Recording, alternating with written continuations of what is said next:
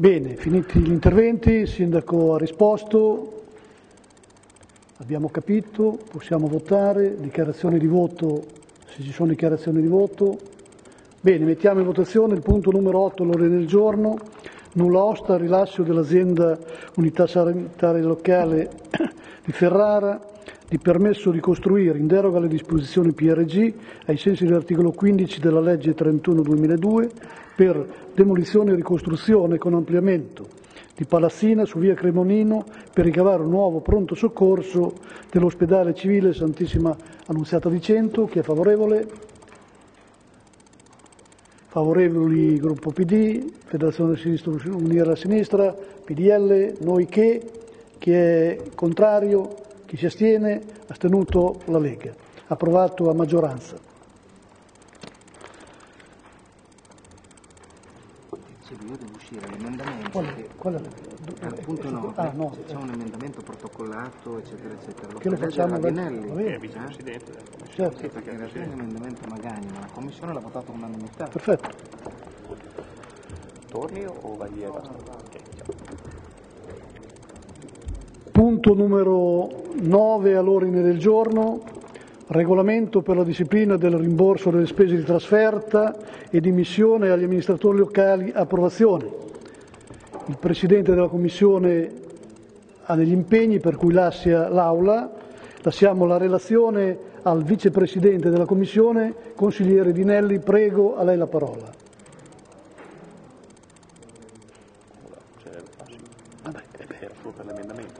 Stesso, più bello.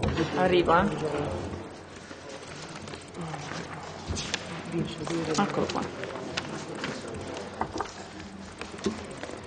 Oppure solamente, ecco, forse correggo il tiro, solamente per l'emendamento che ci era detto. Certo, questo era il senso del mio invito. Prego.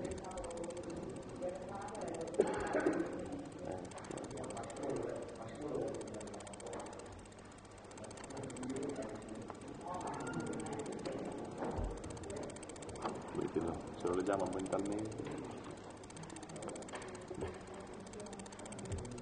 No, spinga, consigliere, spinga. È acceso? Boh, Ecco. prego. No, allora, no, rispinga, no, vabbè, ma ferma. Spingere. Ferma. No, rispinga. È qua. Ferma. Ferma. Prego. Ecco, bene. Dunque, in merito all'oggetto che andiamo ad approvare, quindi il regolamento, ehm, in Commissione Bilancio, dopo aver discusso, abbiamo deciso di apportare allo stesso un emendamento che adesso leggo. Eh, in ottemperanza a quanto disposto dalla Commissione 1 eh, Bilancio Affari Generali eh, Risorse, nella seduta di venerdì 20 gennaio 2012, su proposta del consigliere comunale del gruppo eh, Lega Nord Lorenzo Magagna, in riferimento alla proposta di delibera ad oggetto regolamento per la disciplina del rimborso delle spese di trasferta e di missione agli amministratori locali, approvazione, questo è l'oggetto all'ordine del giorno, iscritta al punto 9 ehm, dell'ODG del Consiglio Comunale del 25-1-2012 di proporre il seguente emendamento al testo regolamentare. Articolo 6, altre spese, al comma 1, secondo capoverso, sostituite le parole fino a 4 stelle con le parole fino a 3 stelle. Emendamento chiarissimo, per cui lo mettiamo in votazione. Ah, allora facciamo intervenire il signor Sindaco col parere del dirigente. Prego, signor Sindaco. Sì, beh, solo per inquadrare un attimo di cosa stiamo parlando in generale, a, a prescindere dal- dall'emendamento, è il regolamento per la dis- disciplina del rimborso delle spese di trasferta e di missione agli amministratori locali, sostanzialmente è un aggiornamento del precedente regolamento ai sensi di sopravvenute modificazioni normative, è, è stato analizzato direi in maniera piuttosto puntuale in, in Commissione dove ci si è concentrati per certo numero di minuti diciamo, su un passaggio che era quello relativo al numero delle stelle degli alberghi eh, come limite, indicate come limite massimo per eh, l'individuazione degli alberghi appunto dove gli amministratori in caso di trasferta documentata e motivata possono alloggiare. Il eh, regolamento nella versione così come licenziata dagli uffici fissava un tetto di 4 stelle e il consigliere Magagna aveva proposto di limitarlo a 3 fatto salvo che eh, in ogni caso invariato è rimasto il tetto di spesa complessivo che è andato a ridursi nella, eh, nell'attuale stesura rispetto a quanto previsto nella stesura precedente. Tetto di spesa che sta, mi pare di ricordare, nell'ipotesi di dimissione a più ampio raggio nei 175 euro giorno tra pranzo, cena e pernottamento. Quindi è evidente e di questo ne eravamo consapevoli tutti in commissione, sia i consiglieri che gli rappresentanti della Giunta, che nel caso si stava ragionando di 4 stelle parecchio decaduti perché eh, poteva essere un po' complicato, ma eh, nonostante questo il capogruppo Magagna eh, ha posto una questione diciamo, di natura più fortemente simbolica, cioè di dire diamo un segnale e eh, in questo senso è stato recepito dalla Commissione in maniera unanime e anche da chi, che ero io, rappresentava la Giunta in quel contesto.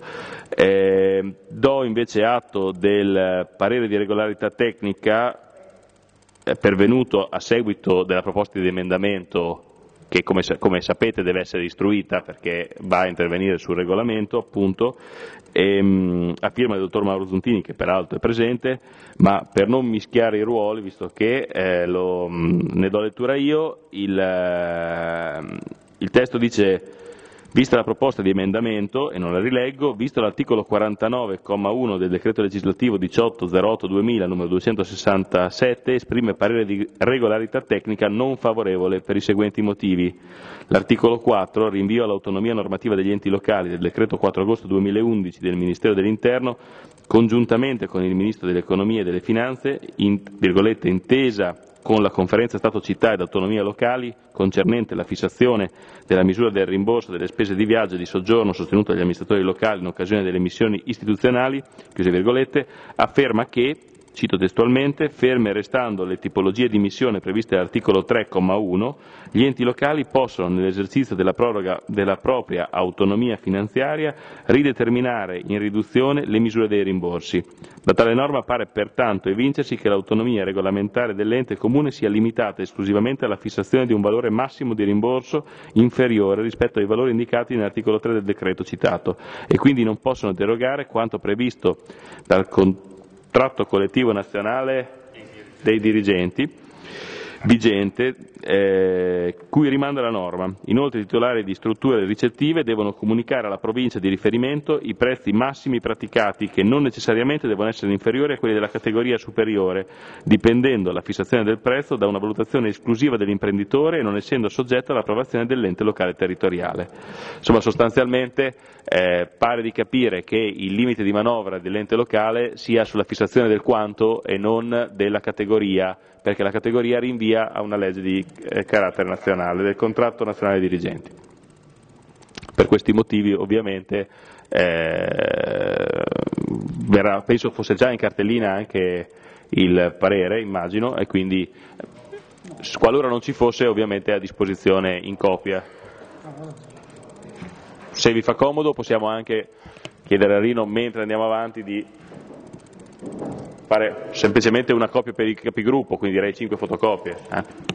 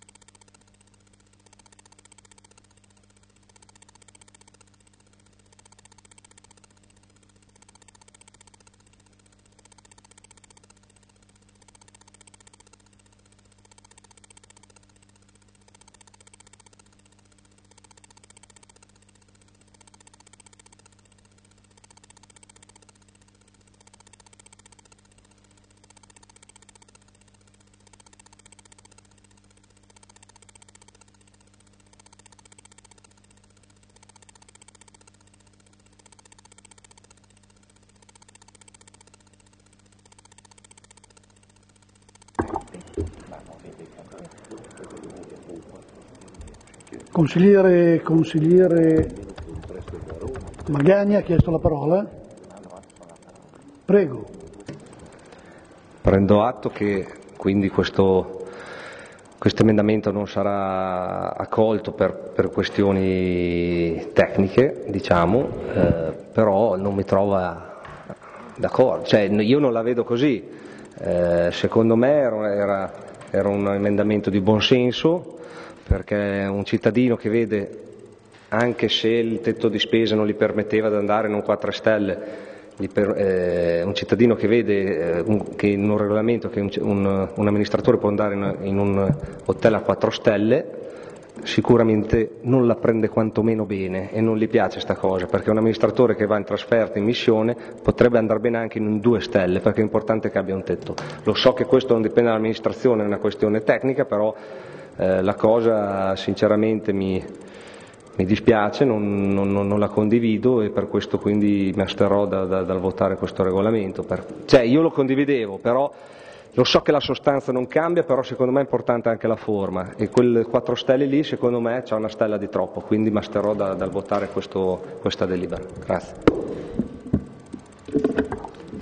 Bene, consigliere Magagna, allora a questo punto io metterei in votazione l'emendamento, se non ci sono più interventi,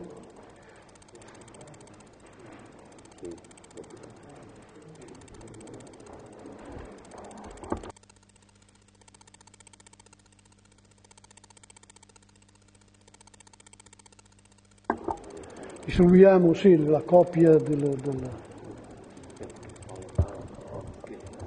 Sì, sì, ma va bene, ma lo, glielo, glielo consegneremo.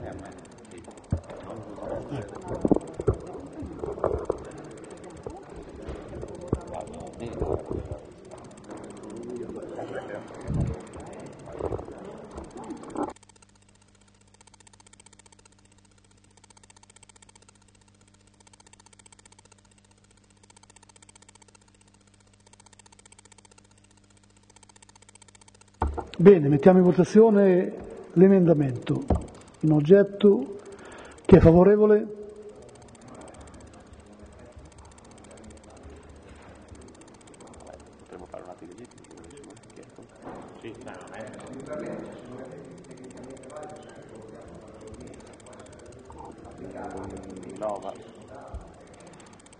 Facciamo parlare il, il dirigente.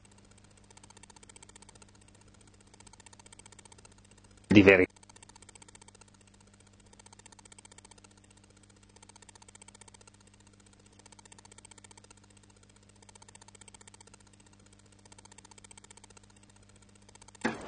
C'è un problema, sono, cioè dopo c'è un problema sicuramente interpretativo, a mio avviso eh, cioè non, può essere, eh, sì, non può essere applicato, però ciò non toglie che debba essere votato.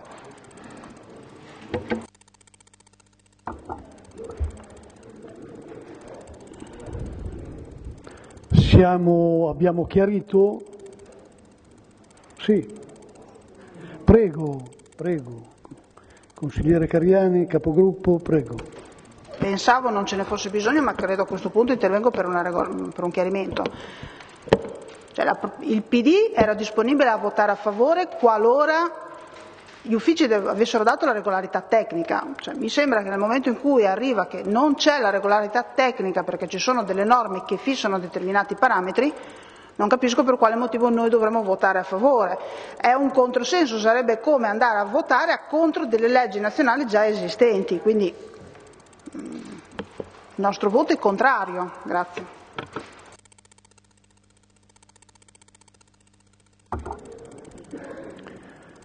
Qualche altro chiarimento? No, mi sembra che... Allora mettiamo in votazione questo emendamento. Chi è favorevole? Nessuno. Chi è contrario? Contrario gruppo PD, Federazione della Sinistra Unita della Sinistra. Chi si astiene? astenuto PDL, Noiché e Lega Nord. Emendamento respinto. Adesso andiamo a votare il regolamento in toto. Chi è favorevole al regolamento? Favorevole gruppo del PD, Federazione della Sinistra, Unire la Sinistra. Chi è contrario? Chi si astiene? Astenuto PDL, Noiché, Lega Nord. Approvato. Arriviamo all'ultimo punto all'ordine del giorno, interrogazione e interpellanza. Prego, parola al consigliere Magagna, prego. Grazie Presidente. Le mie non sono proprio interrogazioni, più che altro che volevo chiedere delle precisazioni. Allora, eh, stasera prima del Consiglio il Sindaco ha parlato con alcune persone, io mi ricollego all'argomento che probabilmente gli hanno ne hanno parlato. Io feci un'interrogazione sull'isola ecologica davanti alle scuole elementari, il sindaco nella sua risposta mi disse che doveva verificare se, eh, se c'era c'era tutta norma e poi me ne avrebbe comunicato eh, se, se, la cosa eh, andava bene. Questo è avvenuto il 25 di ottobre, sono passati tre mesi, quindi volevo capire se allora quell'isola ecologica può star lì oppure non può star lì, perché se le, le notizie, sentendo le ultime notizie di cronaca avvenute nel Lombardo, dove per altre motivazioni che non c'entrano le isole ecologiche, però purtroppo due bambini sono morti schiacciati eh, mentre scendevano per andare a scuola, non vorrei mai che se questa isola ecologica eh, dimostrasse la sua pericolosità, come io ritengo possa avere, eh, possa causare delle, dei, delle problematiche di questa, di questa, entità e quindi se si potesse evitare una tragedia del genere, secondo me sarebbe tutto di guadagnato, soprattutto per i bimbi e per i genitori. E questa è la prima precisazione. La seconda invece chiedevo, io ho chiesto tre accessi agli atti in data 2 gennaio 2012 nello specifico avevo chiesto notizie su, eh, su aiuto, dov'è qua? Sul, sul, sull'ispettore, sull'ispettore, ministeriale che è venuto qua a, fare una visitina al comune nel novembre-dicembre, sono stati dati gli atti e quindi sono a posto. Avevo chiesto entità del costo dell'illuminazione natalizia, questa non mi è stata consegnata ancora, non capisco il perché, ma non è il, motivo della precisazione attuale. Il terzo invece che avevo chiesto era il, capital, il capitolato per l'assegnazione del carnevale. Allora, adesso io vorrei capire una cosa. Eh, dato che è scaduto nel 2012, se non mi è ancora stato consegnato, i motivi possono essere solo due o non mi è stato dato perché essendo forza di opposizione sono brutto e cattivo, cosa che non credo, o cosa ancora più grave, non mi è stato dato perché non esiste. Se non esiste è gravissimo, perché è scaduto nel 2011, fra due settimane inizia il carnevale, girano un bel po' di soldi col carnevale, ci sono un bel po' di responsabilità da, da mettere in chiaro chi ha colpa di questo, cioè chi è che deve fare questo, chi è che deve fare questo, quindi non capisco perché se esistesse, secondo me, il giorno dopo che, che, che c'è la richiesta de, degli atti, doveva essermi consegnato, dato che mi è stato dato un faldone invece alto così che era molto più eh, su, sull'ispettore che era venuto qua, che quindi molto più, era molto più difficile da consegnare. Invece qui non mi è stato consegnato niente, quindi la mia precisazione prima di fare un'interpellanza così era capire cosa mi diceva il sindaco, perché secondo me su una cosa così mi, do, mi doveva essere già consegnato il materiale, quindi se non c'è cioè se c'è stato perché sono brutto e cattivo dell'opposizione, vabbè, me lo darete, ma se non c'è è una cosa gravissima, perché è scaduto l'anno scorso. Grazie.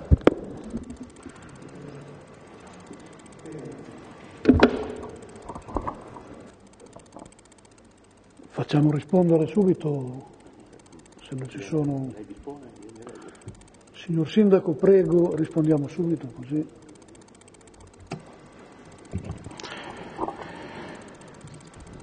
Sul tema dell'isola ecologica le rispondo con beneficio di inventario, nel senso che mi riprometto di verificare documentalmente, ma sono quasi certo, perché ho ancora ragionevolmente memoria, che eh, la verifica della Polizia Municipale non ravvisasse elementi di pericolo oggettivo e rinviasse a una rivalutazione dell'area eh, connessa ad altri interventi di miglioramento della viabilità, eh, proprio perché siamo consapevoli e concordiamo con lei sul fatto che sia una zona che ha significativi momenti di criticità, non a caso i residenti della frazione di Renazzo avranno notato che la presenza della Polizia Municipale è significativamente aumentata nel, negli ultimi mesi. Sul secondo tema, che in realtà si riconduceva esclusivamente alla domanda del perché non ha avuto il capitolato, è questa, no? prima aveva fatto riferimento a un paio di altre richieste, invece su...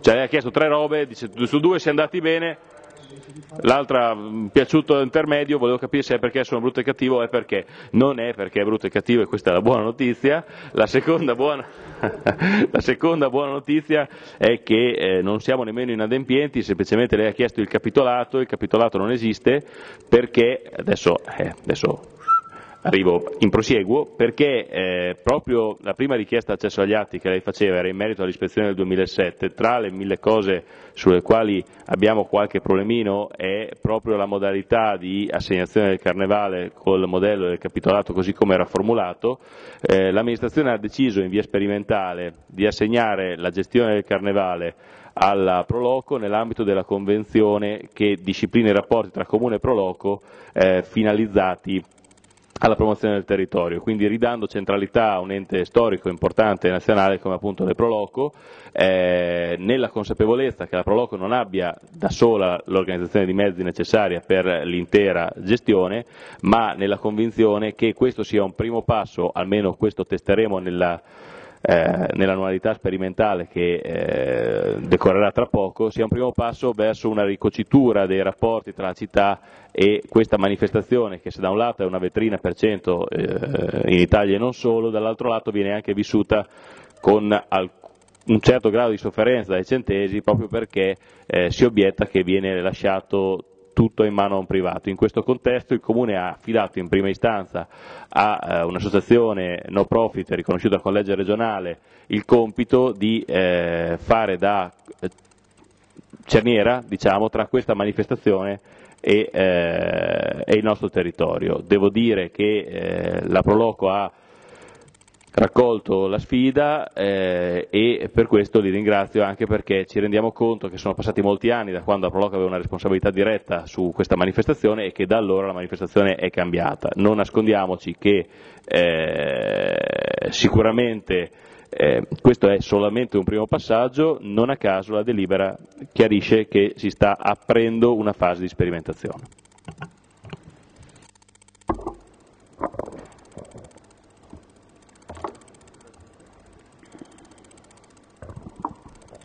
Consigliere Magagna, prego. Prendo questa come una novità, comunque allora sarebbe stato carino quantomeno mi arrivasse una comunicazione non ti possiamo dare il capitolato per questo motivo, perché se no io restavo lì a aspettare col cero se non la tiravo fuori oggi. Quindi per correttezza, dato che lei si vanta di essere eh, aperto alla discussione e tutto, se a una richiesta d'atti non si può dare seguito, spiegare il perché e il per come, perché poi dopo faccio una richiesta dati per, per sapere alla Proloco come gli è stata concessa la cosa. Perché allora adesso sono curioso di capire perché lì ci sarà un qualcosa per, che, che, dice come gestisco la, la, la questione e, e, e, vorrei che io sono interessato a quello, quindi adesso devo fare allora chiedere alla Proloco o sempre tramite comune? Tramite comune? Mm. Oh, boh. Ok, grazie.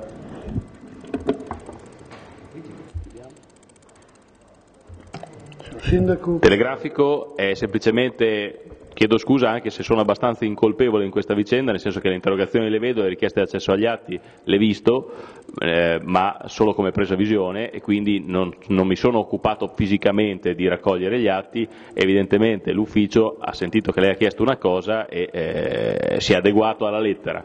Eh, se fosse stata un'interrogazione eh, sicuramente mi sarebbe venuto in mente, in, in questo contesto siccome dire, eh, come dice sempre Mattarelli bisogna essere trasparenti come una stanza di vetro, non serve nemmeno che la richieda, le faremo avere copia della Convenzione.